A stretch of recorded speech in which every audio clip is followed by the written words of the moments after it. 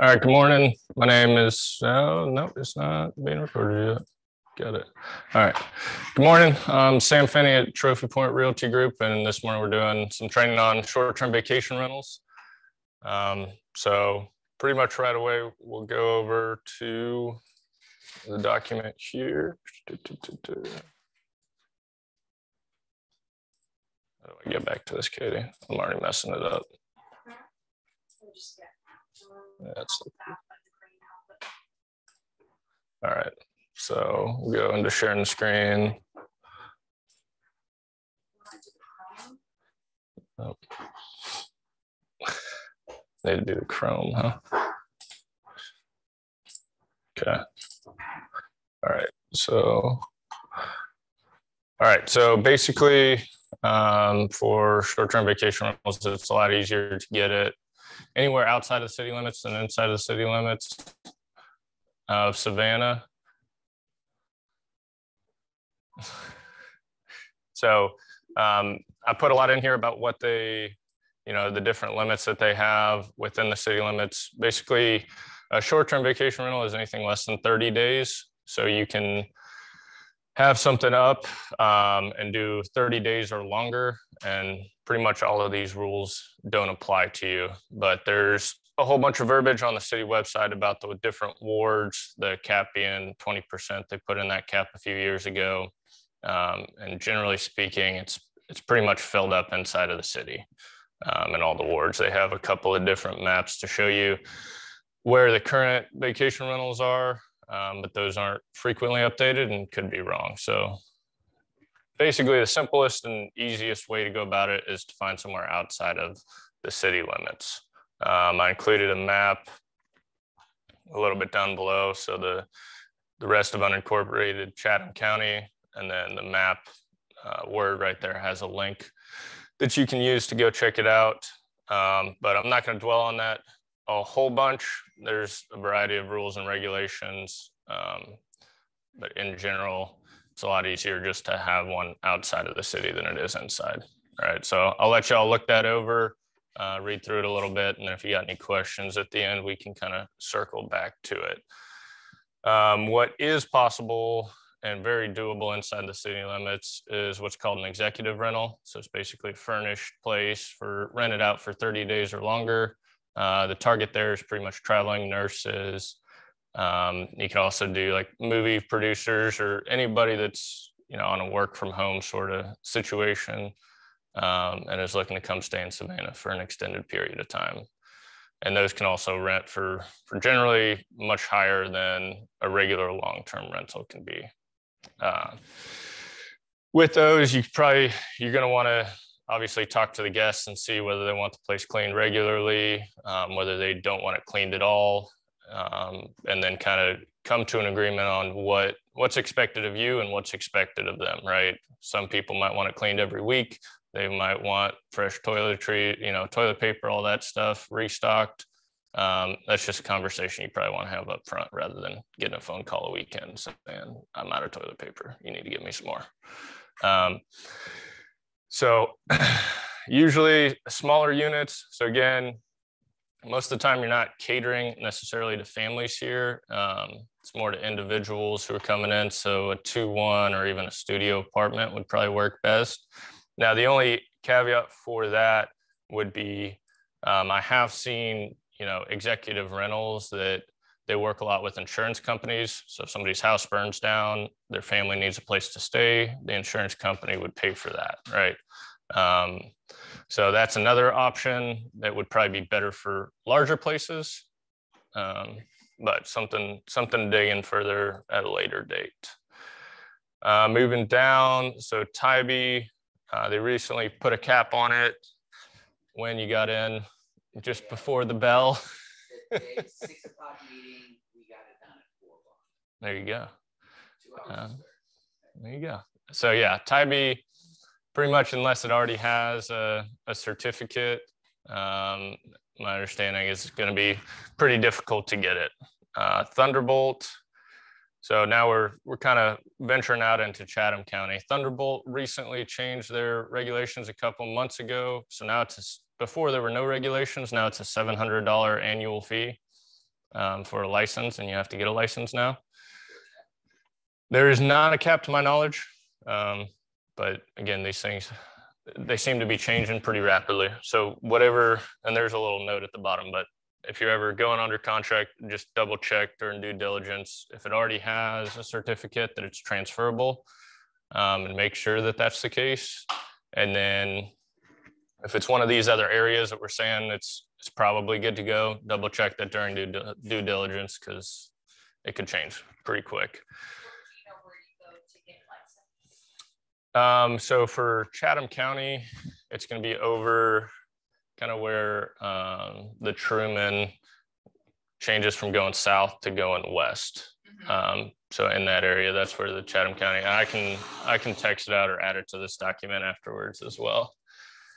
Um, but if you're not in Thunderbolt, a lot of these other places that are listed, uh, Whitemarsh, Wilmington, Georgetown, Port Wentworth, a lot of those are just going to fall under Chatham County. So that's going to be $350. Uh, you need to make sure that you've got a fire station subscription, which is like 300 bucks, I think.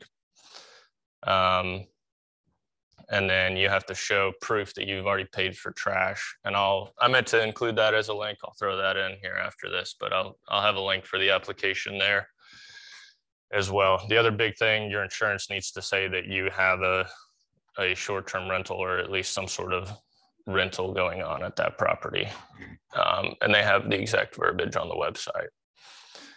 So, and as you can see, so these different areas, right, you're going to attract a different crowd for each of them. So probably on the islands, um, you're going to have a lot of bachelor, bachelorette parties, um, possibly, and then just families that are coming to visit. And a lot of this, so if you got a bigger place, you're to be catering more towards family gatherings and large groups. Um, if you got a smaller place, it might be more couples coming out or something a little bit uh, toned down. So for Port Wentworth, so up there, there's a lot of work going on at the dock, obviously, and SCAD's got a lot of work. So like we've had the same person who's working as a SCAD contractor stay at our place, I think four four weeks, Monday through Thursday in the last two months, um, and he just keeps keeps coming back. So that's also an option. What's up, one?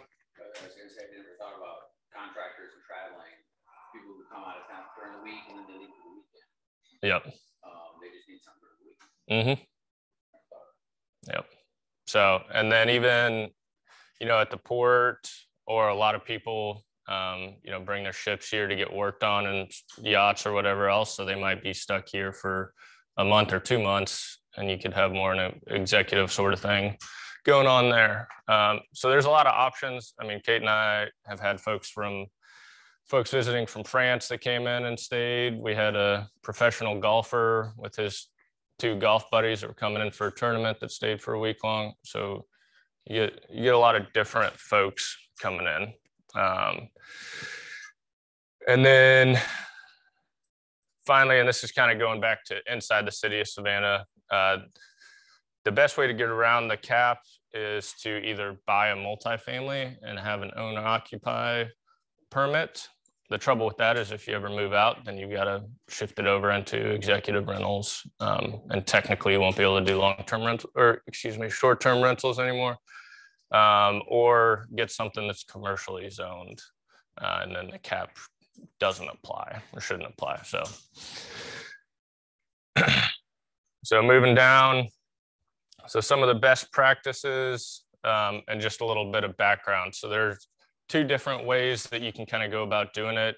Um, you can just use Airbnb, which is the simplest, and you can get a lot of traffic. So there's a lot of folks that don't don't even go outside of Airbnb. So they automatically take out all the taxes for you, file those, so you don't have to worry about it. Um, it's it's a simpler process in that respect. If you start expanding to like VRBO and having it listed on multiple different sites, then you got to start um, worrying about the calendar, making sure that you don't have double bookings and all of that. So usually Um, so Lodgify is one that Aaron Miller uses for his rentals um, that I use as well, but it kind of keeps your calendar straight and make sure that there aren't double bookings or anything like that. All right. And then the other thing kind of with that um, is there's a whole bunch of pricing softwares out there. So like, I don't know when you know some concerts going on in savannah or when a big events going on. Um, so price labs there's a whole bunch of different ones out there but you pay like 20 bucks a month per listing and they automatically raise the price if there's not much available or lower the price a little bit if it doesn't look like it's going to be a busy weekend. Um, and then you can go in there and modify and adjust it as you see fit. So that the different sites have different fees too right? Mm-hmm. Airbnb's is different than Yep. VRBO, different than all these others. Correct. Not to dwell on that too much, but do they like change the price for you or do they just send you an email with a suggestion? No, so they they'll change the price for you, and then you can go in there and adjust it. So, like for ours, we were noticing we've got every single weekend out to I think July booked right now. So, I went in there and I upped the Friday night and Saturday night rate by twenty five percent, and then the weekdays we don't i mean some of them are booked some of them aren't. And so if there's a weekday that's coming up you can either select certain days and lower the price x percentage um, or like i have monday i guess sunday through thursday discounted like 15% so you can play around with it a lot. You can have it to be where if it's if there's a vacancy like the next week then it slowly discounts the price as it gets closer and closer to try and make sure you're you're keeping your doors open. But again i mean similar to long-term rentals the lower the price goes um, sometimes the less the less good people take care of it right? So if you if you're willing to lower your price way down you might be making more money on the books but that's not to account for them completely trashing the place or breaking things or whatever else right? So there's kind of a there's kind of a balance there of what you're okay with going down to.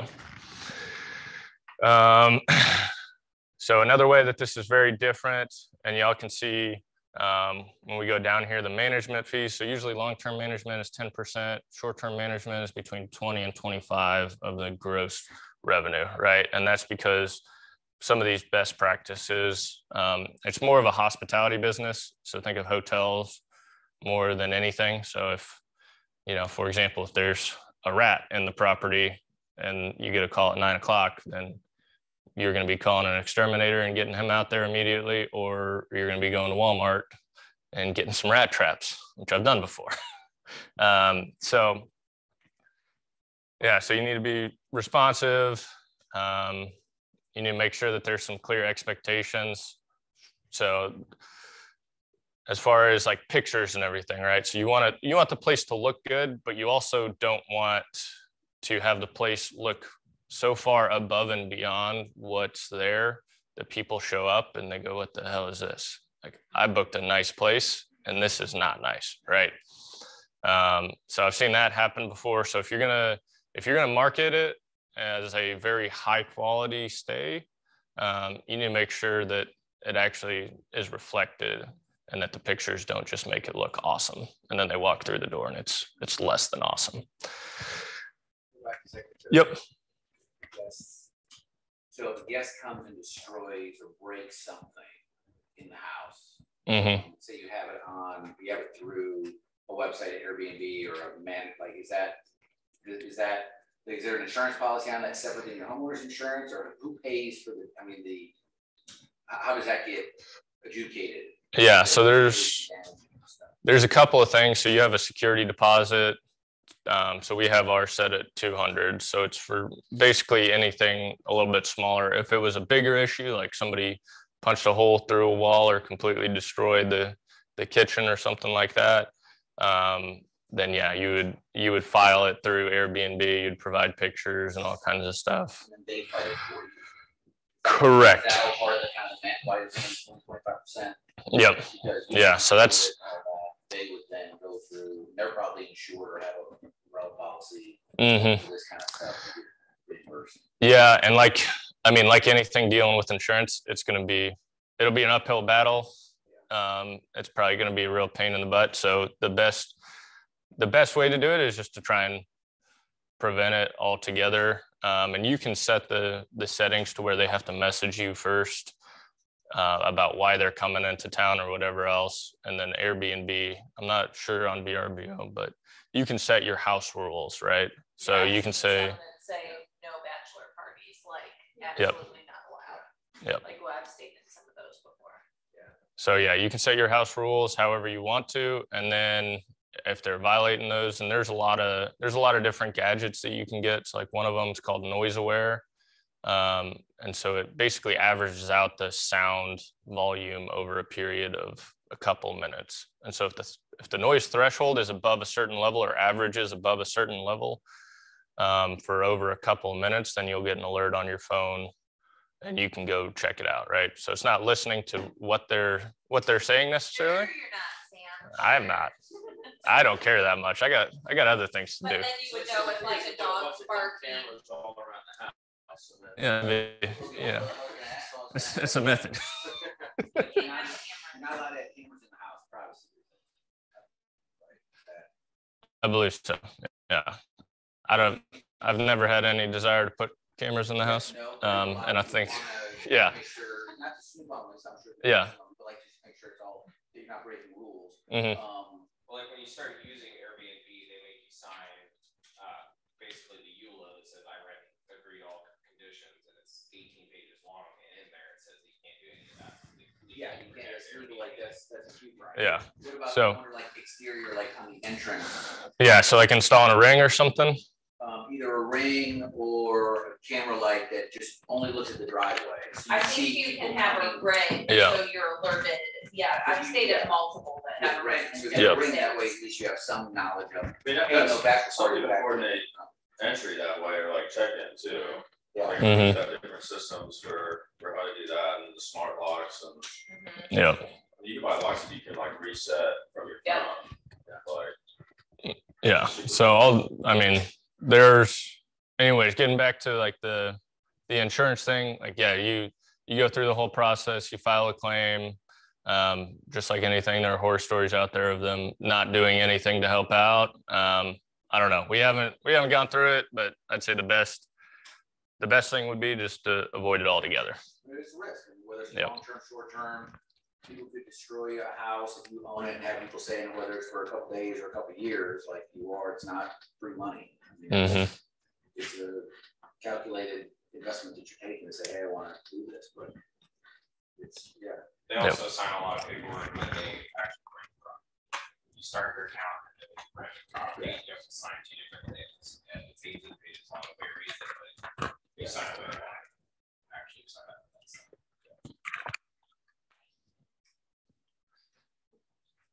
All right, so going down a little bit. Um, so we already touched on photography a little bit. All right, as far as like designing the house, I got lucky. Kate loves designing places. Um, but like Pat, Pat mentioned when we were going over this, it's definitely worth worth it to have somebody who's a professional or has an eye for it make it look good, right? Uh, because again, you don't want to make it look better than it is, but you want to make it as good good looking as possible. Um, and one of the big things Kate and I have been surprised by is there's been, I don't know, probably 10% of the people who have left us a review that have commented on the kitchen and how they booked it because of the kitchen or their favorite part was the kitchen, right? So, um, something, I mean, that's something that we didn't expect.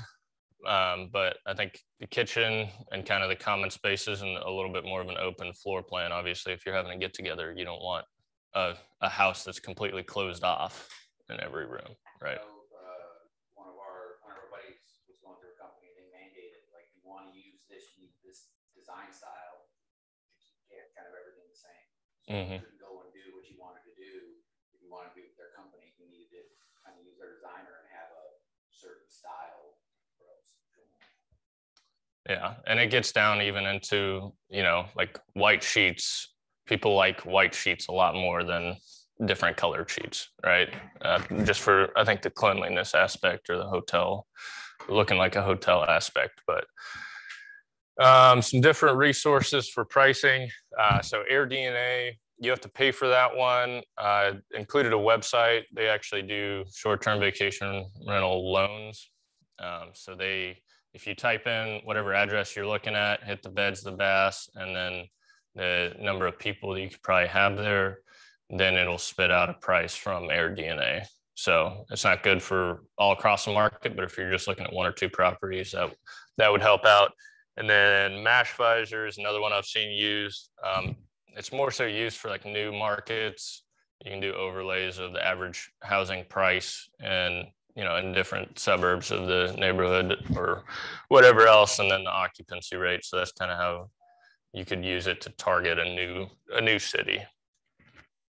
Um, moving down a little bit, so operating expenses again, management fee is between 20 and 25 percent of the gross revenue.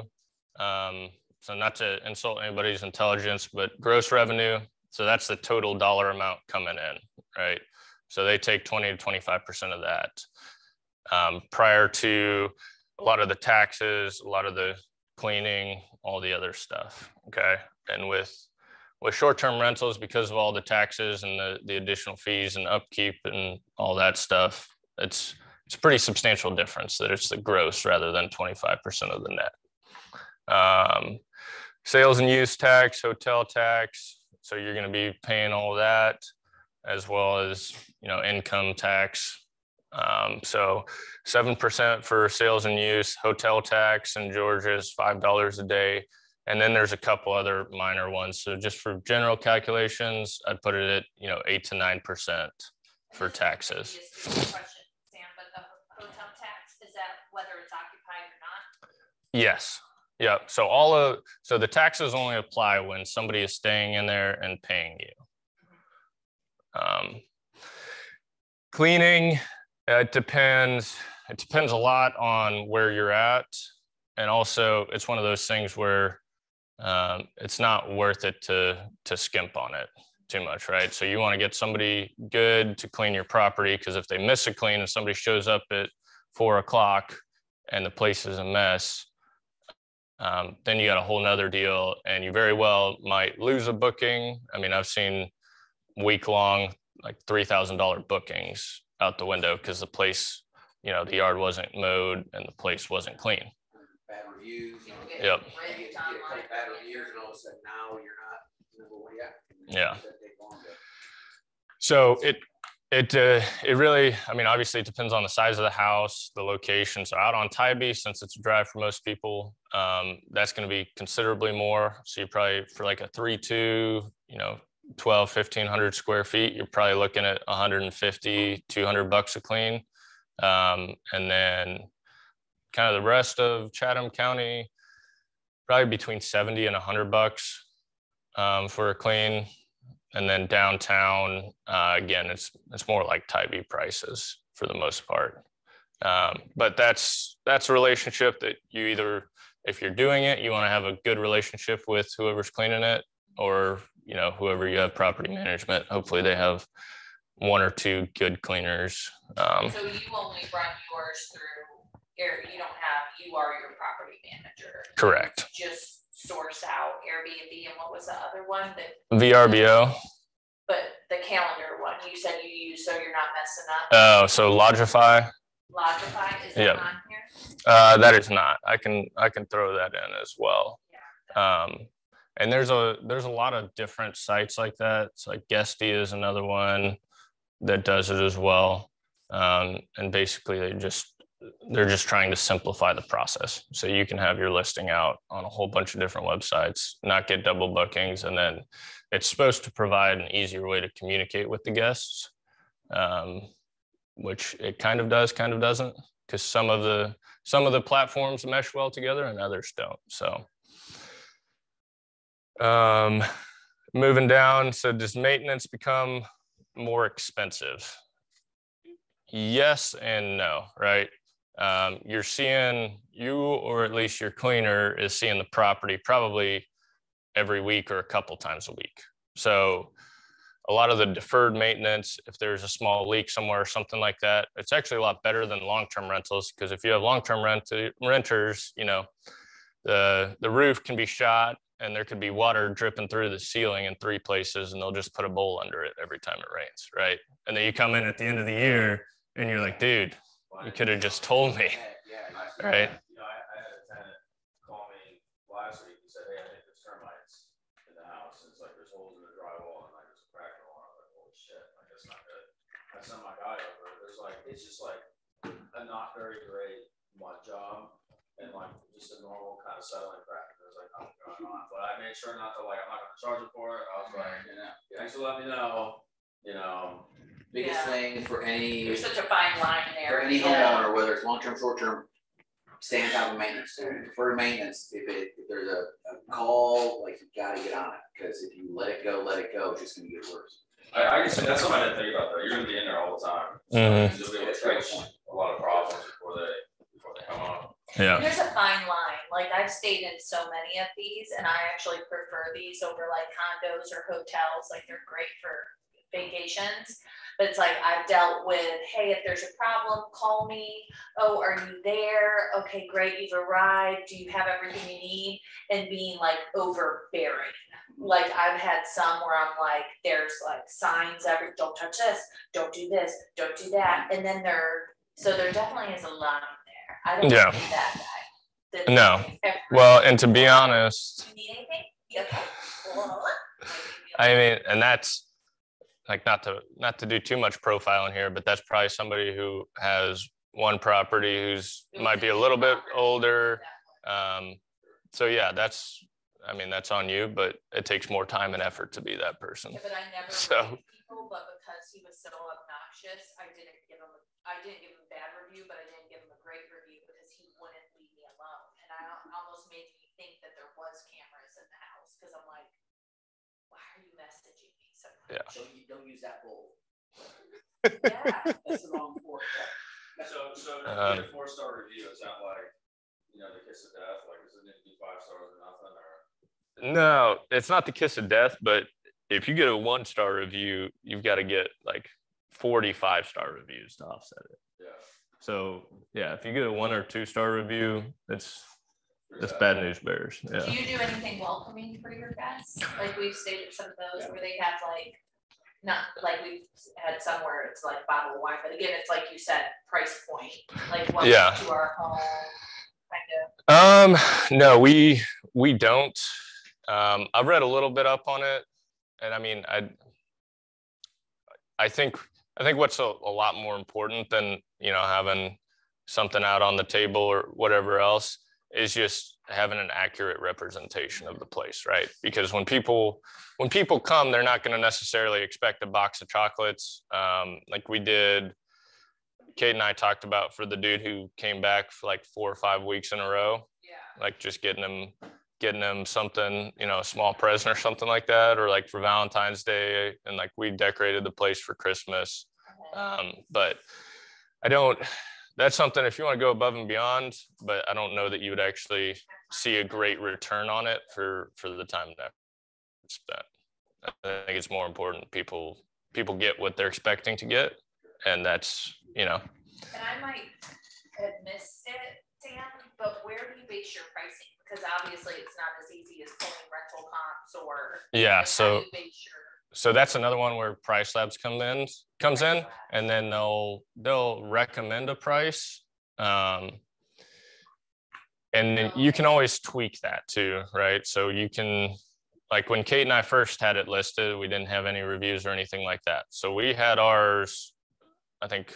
substantially lower Okay, until we started getting some bookings and reviews. And i honestly i left it lower for too long because then we started booking out like a month and a half two months out and then i finally increased it. Um, but that's the other thing too. You can you can play around with it at any point right? So if it's not booked you can change the price however you want. Do you know anything about Bryan County and what Bryan County's rules are with? i have no idea. Nope. Where do you go to find that information? To the county websites um, Every county website has a municipal code. Like, it's usually, what was it, there's like a website that hosts most of the municipal codes. Um, But just go to municipal code and control F and look for STVR or STR. Okay, Um, and then that should shed some light on it. Yeah, I've never even looked into Bryan County. I imagine, like, the thing about Richmond Hill, like, almost everything in Richmond Hill is an HOA, and almost every HOA in existence does not allow vacation rentals. And if they do, they won't as soon as you start doing it, because all you need is one obnoxious party, and that's it, you know?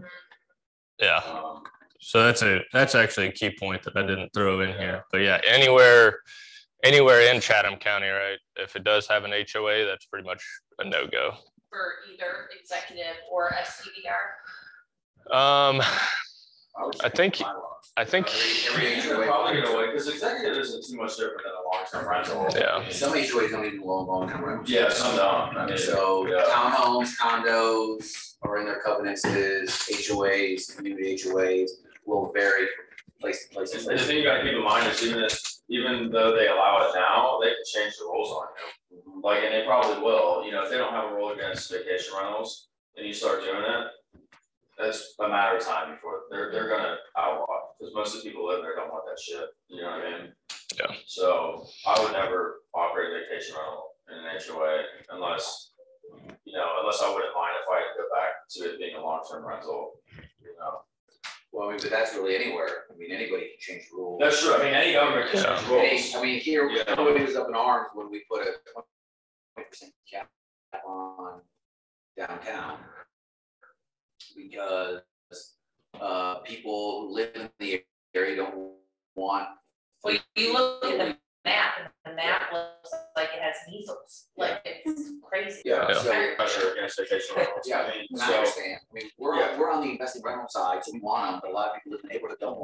Three times a week, new neighbors coming in, taking their parking well, spots. not, not only that, but if you're you're a renter. it'll Suck. What's driving up, so you look at, you know, so the twenty percent, so twenty percent of residential properties that. Are off the long market. Right, you wanna talk about, so, so it's not only, is it the neighbors who don't like it, but it's the renters who do like it as investors, and the investors Yeah, so there's a lot of pressure against. The flip side is, also the property value. As far as what property scarcity, you know, in the same, you know, rental numbers, so I, I don't think they're gonna get rid of vacation rentals in Savannah, but I don't think you're ever gonna see any more. That's, Yeah. you know, Ever. But rules can be changed, whether it's HOA, governmental, city, county, hmm you can put caps, you can do it. If, if I was, if I was city of Savannah, I'd have like a two thousand dollar permit fee every year for vacation rentals, because people would pay it. dude, I just wanna build my own little community of tiny houses, and I can do short-term vacation rentals, let's find that.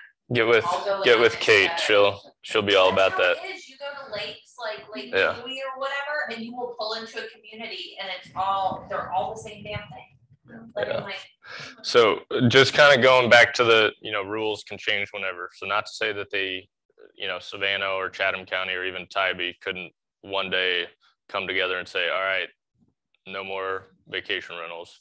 Um, because they potentially could. Historically, though, the most that they'll do or that I know of is they'll put a cap on it. So they're not going to screw over whoever has vacation rentals right now but they're going to put a cap on it saying we're not doing any more of these. You got what you got. If you don't renew your license, then you're going to lose it. Um, and that's what we've seen historically. So cities want short term because they want tourism, right? Tourism is number one. You do away with STVRs, do away with where tourists can come and stay, the city's not gonna make money. City doesn't want to jeopardize all the tax revenue it has coming in, hotel tax, occupancy tax, the general just tax base with hundreds of thousands of people coming every year to Savannah. They're tidy, and they're gonna want that. So, I mean, five or six years ago, this wasn't even possible because it just, Yeah. there wasn't even Airbnb, there wasn't enough internet presence for any of this to make any sense. so it's a new Yeah. world that governments are lagging behind. mhm, They'll catch up. I think Yep. COVID helped too, um, cause definitely was an increase with the Airbnb. Nobody wanted to be in a closed confined space, they didn't wanna go to a resort, they didn't wanna go to a hotel or a condominium, like they wanted their own space to feel safe. Yep. And that's, like, I did some reading on that, and that's when they saw like a huge increase. Mhm. It's just getting higher and higher.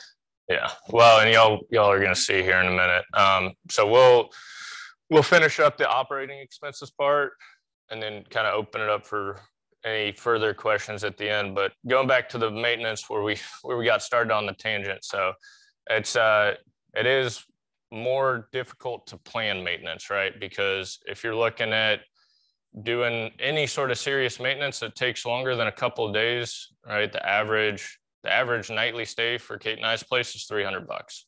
So if you take it off the market for a week, you're looking at losing two grand. Right? So in that way, you kind of got to be a little bit strategic about it. And sometimes it's a lot easier to push off maintenance because you can say, well, that, that can wait for another little bit. Right? Um, how much does it cost to furnish? Usually between 10 and 20K. Um, and I've got a sheet somewhere that I can I can share with y'all as well about kind of what Kate and I put in ours and and there's a lot of stuff out there on the internet. Can I have your sheet? My sheet? Can I see your sheet? Sure. I have to submit something over to Win, I just want to double check. Um, but yeah, usually about 10 to 15 for a mid to smaller sized house and then 15, 15 to 20 for, you know, 12, 1300 square feet up to 2000 square feet. And that sheets, plates, everything. That's pretty much everything to start off with. Yep.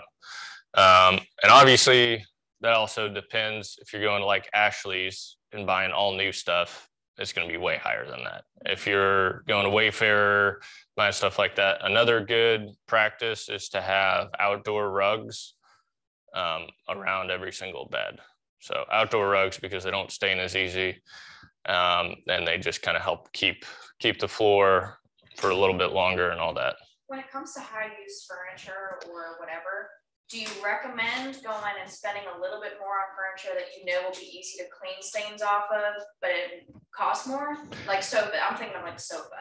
Like you could buy a really cheap one off Wayfair and it might be comfy, you know, it'll work, but like if a stain goes on it, that stain's staying, no matter how hard you try to clean it out.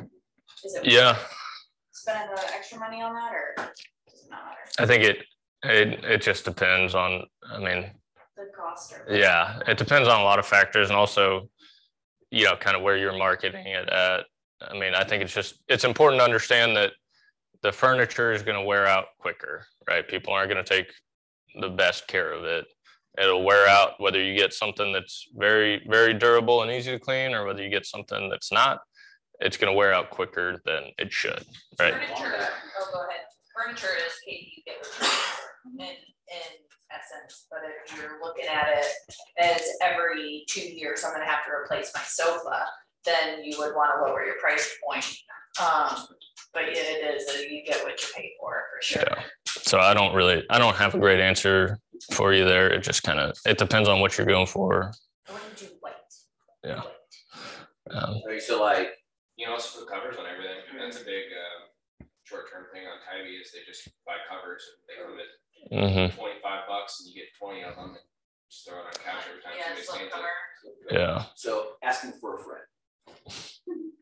So like, would you do more like, uh, cloth or leather, I mean, leather would be a lot more durable, but then if you, for like, or do you just do the cheaper? Well, it kind of- depends where you are, like what Sam Like, goes back suppose to, Suppose you're on the north side of Tybee for a friend. no, then you would not put leather in that house. Okay. You're gonna go with a coastal look. In that house, you could do like darker, you could get away with blues and stuff like that. But no, you wanna put leather. Leather's like lake, cabin, things like that, or just a standard house. The front- the- The front's a good guy, by the way. Real Yeah, good guy. sure it is. Um, so yeah, get, so another thing with like protecting your stuff, so you want to do mattress protectors, like waterproof mattress protectors, waterproof pillow protectors, all that jazz. That was gonna be my question, like Mhm. bed bugs, have you ever dealt with that before? No, thank the Lord. Yeah, 'cause I've heard they can like. No, but Scrabble on your skin, so don't Yeah. Yeah.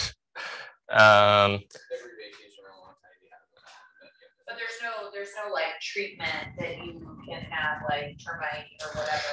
Not like a come in- yearly thing, but like when it happens, when it comes. Oh, yeah, and it costs a shit ton of money, no, I know Yeah. that, It's- yeah. Yeah. So yeah, pest control is definitely something that's worth investing in, obviously. Um, because again, any, you know, a day or two that it's taken off the market is five hundred bucks. So paying a couple hundred for pest control is is well worth it. Um, and then going down to how much can we make in this market? Um, the short answer is it really it really depends. There's a lot more factors than long-term rentals. You got a long-term rental that's a three-two. It's in downtown. You know it's gonna make you know you know somebody's gonna rent it for eighteen hundred bucks or something, right? Short-term rentals. It goes into you know what amenities do you have there? Is there a pool? Is there a hot tub? How does the yard look? Is it private? How does the neighborhood look? Um, what are your ratings?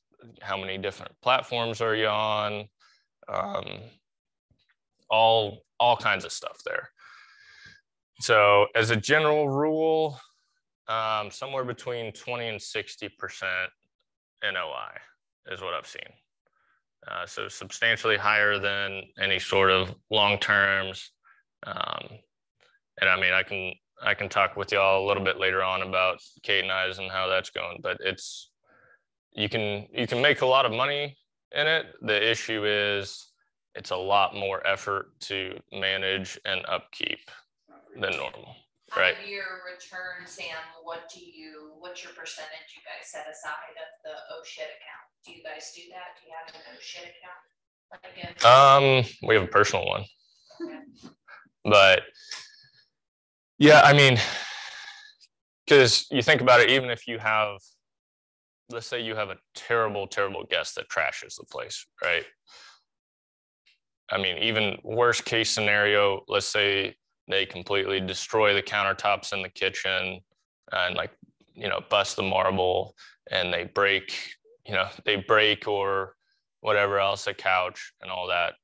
Um, that's still going to be cheaper to fix than it would be to put in a new HVAC or a new roof or something like that, right? So even even in like the very very bad case scenarios where they put somebody through a wall, you're still only looking at you know a couple thousand dollars probably. So I don't know. Maybe I'm wrong. It could be. You tell me, So- For land- being a landlord, that long, for long-term rental, the data says, and everybody's spreadsheet different, but the data has about fifteen hundred dollars per door per year Yep. is what you have set aside for a, a slush fund. Right, whether it, whether it's a nickel and dime every month, it's seventy-five bucks, or whether you don't get anything for three years and all of a sudden then you get to HVAC, but fifteen hundred dollars per door per year. To for set aside, you don't set touch aside. it. Yeah. I think for a short term, you're at least doubling that. Just to be on the safe side with wear and tear and everything, so maybe Yeah. three grand per door per year. As a safe buffer, maybe, Yeah, well, and I would even go above that. So I've seen I've seen like 10, 10 grand or so for set aside for maintenance for you know three hundred thousand dollar property. And yeah. So and that's not You see the furniture and decorations, and, yeah. I mean, you probably repaint it more often, because. So you get away with scuffs in the wall for a couple years, but not. yeah, so you're talking about repainting, um, like doing all new linen every year or so. And the linen, usually you want like two and a half to three sets of everything. Right. So you're buying, if you have four queen beds in a house, we'll say you've got 12 full sheets, um, full queen sheets for it. Right. And you're going to have to replace those every year. Costco, twenty dollars. I'm telling you, best quality sheet I've ever seen in my life. really, Yeah. uh, Oh, there you go. Sam, asking, asking, Costco, asking for. and they have all kinds of patterns. I know you want white, but Yeah. uh, I, they might have white, but it's literally, I think, 20, 25 bucks, maybe twenty-five for a king and twenty for a queen, and they are amazing, and they feel good. There you go. Um, There you go. but yeah, so just for, I mean, I guess the slush fund, I would, I would set aside, you know, probably ten thousand dollars for, if you're looking at like a three hundred thousand dollar place, again, for painting, for sheets, for, and the other thing too, like I was talking about, it's, everything is much more time sensitive, right? So if you got a guest coming in and, you know, the guest tells me tonight, hey, this isn't working or this is broken, and there's another guest who's coming in tomorrow who's paying two thousand dollars for the next week, then I'm gonna be calling whoever it is and telling them, hey, if you can get out there within the next five hours, you know, I'll pay you double whatever it is. Um, weekend So- Calls, service calls, Yep, instead of a hundred bucks, it might be two fifty, three hundred dollars for the same thing you get during the week. yeah. So, yeah. So that's the other reason the price is is a little bit farther up. Um, larger scale, I've seen what they pitch is to the owners, they say per sleep in the house, because they'll have like a three bed, two bath, but technically you can sleep twenty people in there, because they have a sunroom with what bunk beds in it. So what they'll do is per head count, per person you put in there, they want five percent of each. Um, yeah, per person, five percent per person of however many people you have in there. But that also covers a lot of other things, like if you can't rent the place out for two weeks, something happens. In twenty twenty, we had a month where we couldn't rent out anything because that's the mandate, couldn't do it because of COVID. So uh, that fund covered that, it covers repairs, it covers you can't rent it out for two weeks, It covers when your kid jumps off the bunk bed, and breaks his arm, that you're getting sued because there's no corporate veil there. You have to own the property like an owner. So it's your name. So a kid jumps off the bunk bed, breaks his arm, and then the parents sue you because they're idiots. That's on you. And so that is also part of that fund, but that's on a large scale operation where that's all under the same name. It's all under yeah, Okay, which raises another question for liability, as it isn't necessarily liability talk, but I would think, you know, whether it's long-term, short-term, a lot of times you may want to take it out of your personal name, mhm, just for liability, so in case somebody does get sued, they can go after the company assets, not your own personal assets. Yep. So whatever the case is, you want to have it in an LLC, have, probably have some kind of an umbrella policy, mhm, cover broken arms, lawsuits. Yeah. that way They're not coming after your own business. Well, and then that gets into that gets into the whole lending thing. So if you do have an LLC, then you're looking at a couple percentage points higher for interest, um, and all that as well. So it's yeah, something to think about uh, as well. The other big thing, no lenders like lending for short-term vacation rentals. Um, the one way I've found is to do what's called a DSCR loan, uh, which is where they have the appraiser come out and appraise the amount that it would be able to rent for a long term. As long as your appraised long-term rent is higher than your mortgage payment, your PITI, then they'll give you the loan. Um, so that's the best. There's also some places that do bank statement loans as well. Um, but usually, unless you have a proven track record, you're gonna have to get creative with with how you're gonna get a loan for it. Because banks don't like it unless you can provide two years of taxes. Yep.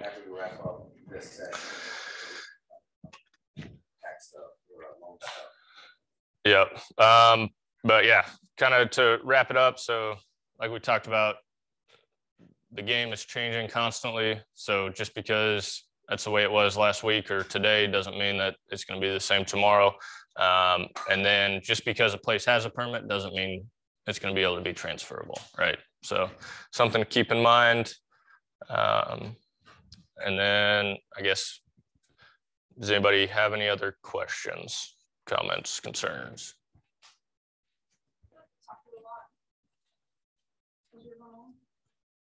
Cool. All right. I want, I want them so bad. A lot more, it seems easy, seems sexy, just like HGTVs moving a house seems sexy, short-term vacation rental seems sexy, it's not. And then you get in there and realize somebody It's a lot tiled your shower the wrong way. but I'm not organized or timely enough to, uh, to deal with that, so. Yep. know, So, and something to keep in mind with any, any investment, whether it's long-term, short-term, um, you know, you don't need to be money back McGee to have these, but you do need to have a bit availability of capital to take care of issues immediately. This is exactly where I wanna go eventually, for me, just Yeah. personally, A hundred lot. percent. Yeah, a lot of people have a house or two and are undercapitalized and they don't have, um, you know, the, the ability to, to take. I mean, there was people selling, you know, April twenty twenty, like literally one month and not making money. And then they had to sell their asset that's now worth thirty percent more. Yep. So that's what- Not only do they That's not have that's that, one month, they couldn't Yeah. cover mortgage payment for one month. Two thirds of Americans don't have, I mean, the stat, two thirds of Americans don't have, you know, thousand dollars in the bank account for an emergency fund.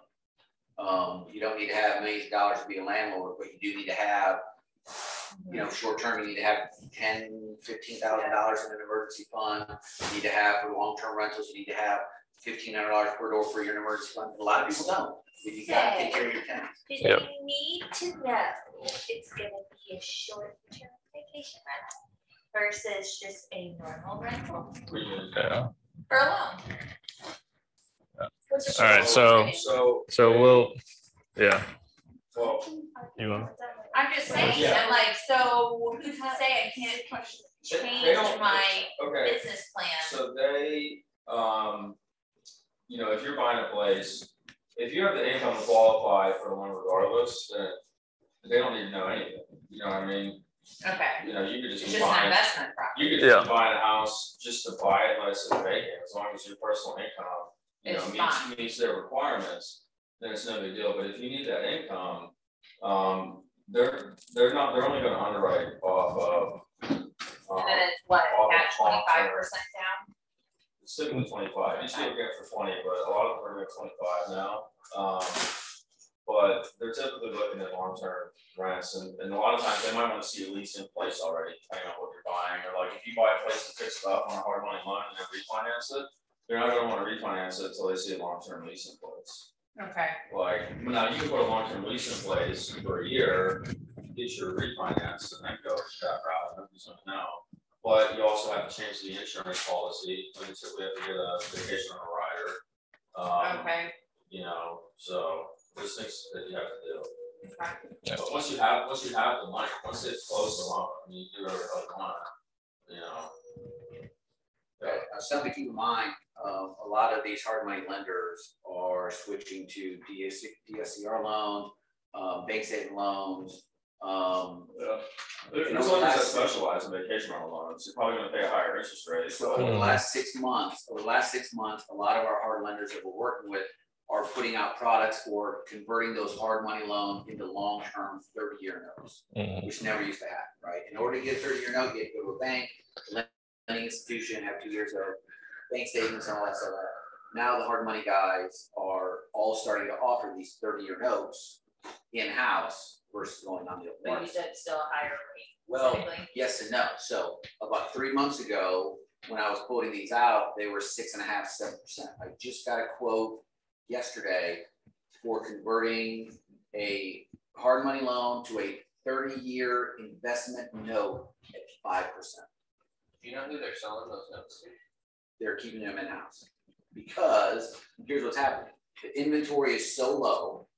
All these hard money groups are investor based.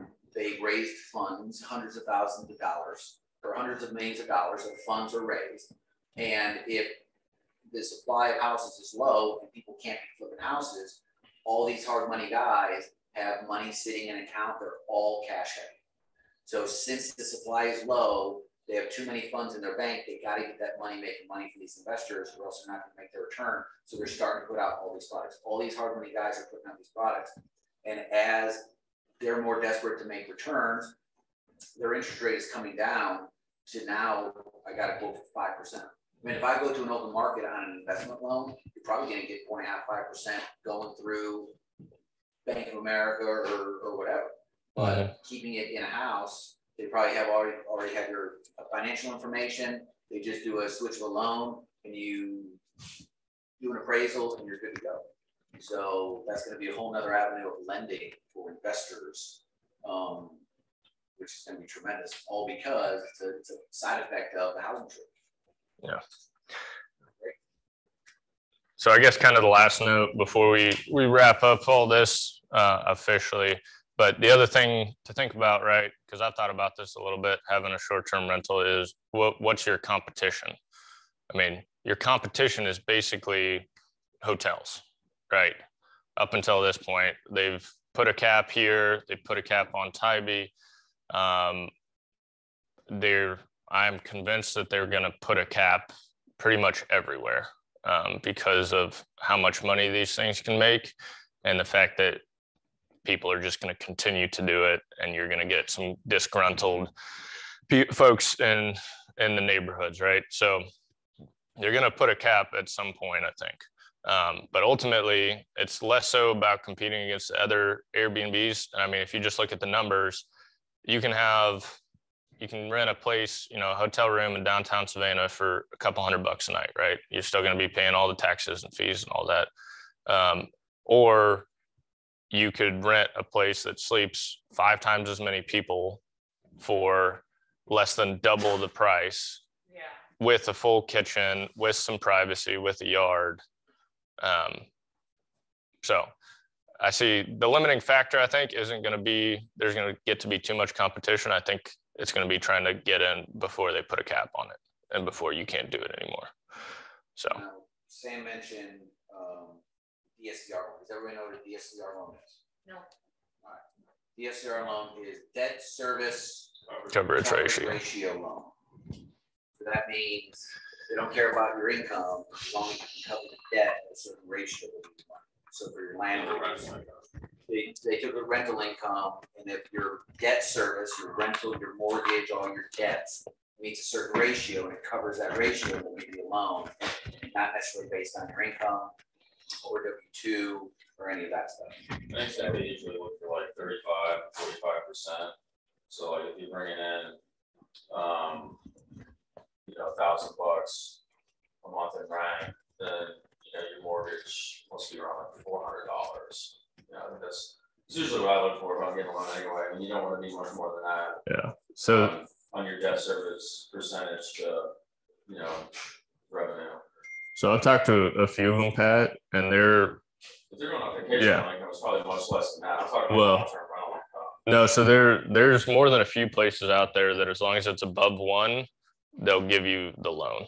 So if you're Oh, yeah, yeah, one, yeah, yeah, yeah, but one point three five. that's that is not that's not a smart deal. So if you're if it looks like it's gonna rent, Your debt could be a thousand bucks a month, and as long as you bring in a thousand and one.